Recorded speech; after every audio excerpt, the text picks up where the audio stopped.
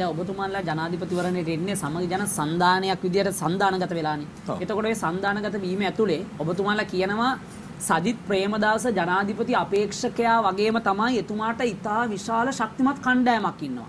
ඒ කණ්ඩෑමේ ඉන්න ලොකු කුරුකක් විදියට පාටලී චම්පික රණවකර දැක්කා.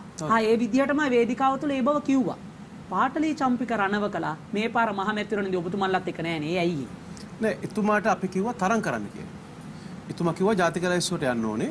එතුමාගේ පක්ෂයේ මහලේකම්තුමාව තරම් කරන්න දාන්න ඕන කියලා.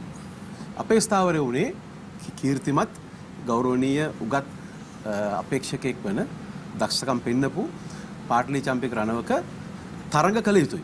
එතකොට තමයි අපේ පක්ෂයට අලුතෙන් ඡන්ද එකතු වෙන්නේ.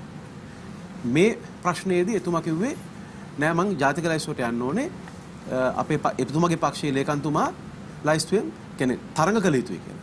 මේ පරස්පරතාවය මතු වුණා. ඒ වගේම ඔවුන්ට එක් එක් දිස්ත්‍රික්කවල නාමෝජන ලබා දීම ප්‍රමාණවත් නැහැයි කියලා යම් දුක් ගැනවිල්ලක් තිබුණා. නමුත් අත වශයෙන් ප්‍රධාන ප්‍රශ්නේ වුණේ එතුමා ජාතික ලයිස්තුවෙන් තරඟ කරනවද දිස්ත්‍රික්කයෙන් තරඟ කරනවද කියන කාරණේ.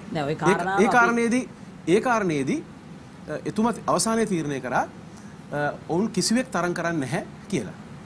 ඔවුන්ගේ අපේක්ෂකව දෙන්නෙක් අ, මහේෂ් කාංචන මේ කළුතර දිස්ත්‍රික්කේ ඒ වගේම අ, රත්නායක මහත්මයා ඉංජිනේරු රත්නායක මහත්මයා ගම්පහ දිස්ත්‍රික්කේ තීරණය කරන්නේ අපිත් එක්ක සමගි ජන බලවේගයකට බැඳිලා අපිත් එක්ක දිගටම ඉන්නවා කියලා.